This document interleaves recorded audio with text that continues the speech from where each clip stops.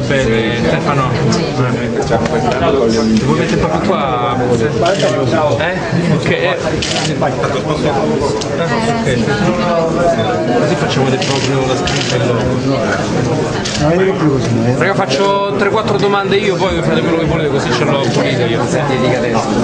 Vincent Candelà, il titolo dice tutto, voi siete leggenda, ci vuoi spiegare i contenuti di questo avvenimento? Sì, semplicemente un ringraziamento a, a tutti i tifosi e alla città di Roma per tutto quello che mi hanno fatto sentire, ma non soltanto a me, a tutti la storia della Roma. Loro sono, sono nostalgico perché senza di loro la passione è la stessa del calcio, però quando scende all'Olimpico con 80.000 persone è tutta un'altra musica, quindi mi sembra giusto che anche se il momento è difficile che qualcuno può essere deluso, che ci sono un po' di complicazioni, però l'ho detto prima, bisogna togliere l'orgoglio personale e andare avanti perché comunicando e avere lo stesso obiettivo. Lo scopo è benefico, no? Lo stesso obiettivo è quello di, di aiutare i bambini a fare sport dentro la nostra città di Roma e quindi bisogna ricominciare, non pensare a quello che abbiamo fatto che è stato bellissimo, eh, sia ai tifosi sia ai giocatori, però andare avanti, trovare la soluzione per ricompattare e per quello che hanno dimostrato l'amore per questa maglia e ricominciamo partendo magari dal 29 tutti insieme per, per l'oggettivo fare del bene a chi è meno fortunato di noi. Non possiamo non farti domande sull'attualità. Eh, questo momento della Roma ehm, come lo vedi? C'erano delle aspettative diverse? Le aspettative sì, eh, quest'anno ci credevo tanto, dopo tutte le difficoltà che, che abbiamo avuto, sia in Coppa Italia ma anche in campionato, siamo soltanto a 4 punti, quindi bisogna cambiare qualcosa, se no ci avremo sempre lo stesso risultato.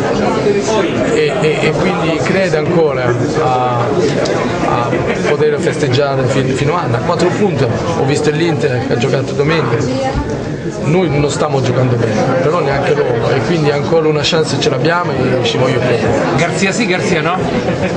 Io penso che sia sia, perché una grande società non è il momento per cambiare l'allenatore, sarebbe troppo facile. Lui conosce il suo giocatore, conosce i suoi difetti personali e anche i suoi difetti della squadra. Quindi se 15 ci sono penso che, e spero che, che riesca a cambiare per, per ritornare a quello che ci hanno fatto vedere le prime due anni. Esiste un caso Geco?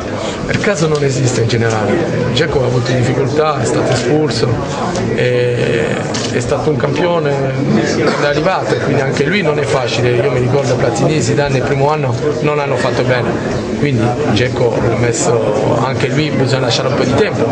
Come ho detto, però adesso sono passati sei mesi, anche lui ci dovrà portare perché la vittoria ci portano tutti. Geco, io penso a Totti che da tre mesi non sentiamo parlare pensa a tutti, sia in campo che fuori in campo, perché non è soltanto quando scende su- sul quadrato, è tutto i dettagli che fanno la differenza per arrivare a vincere, io parlo per vincere.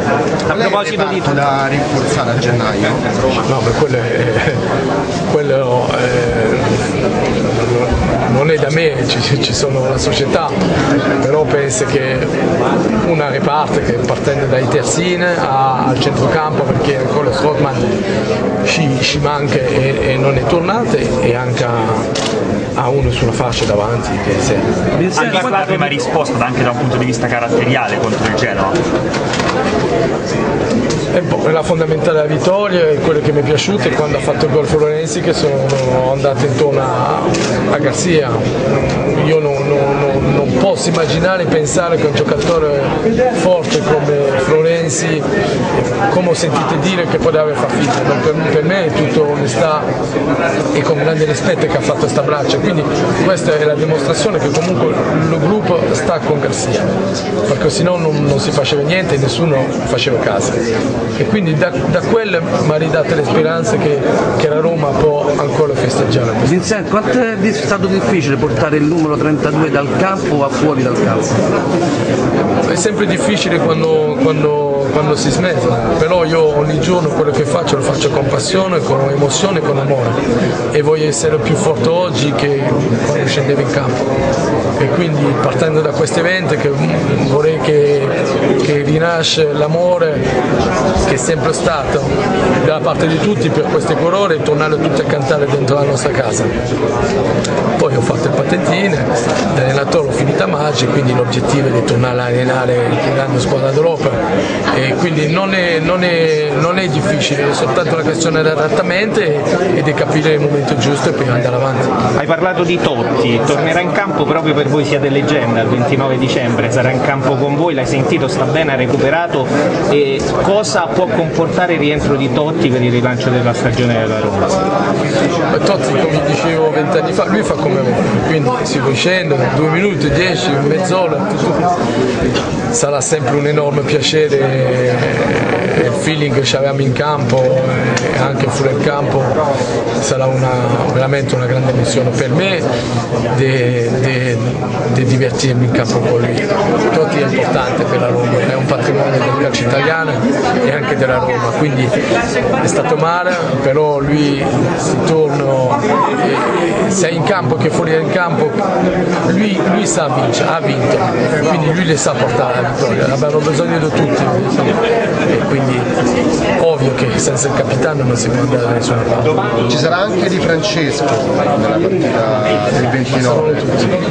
Pensi che il prossimo anno potrebbe essere la soluzione per la Roma? No, io no, no, non, non vivo del passato e non vivo neanche io vivo dopo i giorni, quindi adesso non, secondo me non c'è senso di parlare, sta facendo molto bene col Sassuolo, è il mio amico, sarà lì con noi, però parlare di, di, di non so che rispondere, non mi sono fatto la domanda oggi non, ci sono tanti allenatori e tanti amici poi allenatori, quindi non saprei che dire. L'importante è che quest'anno finiamo bene e arriviamo a portare qualcosa a casa.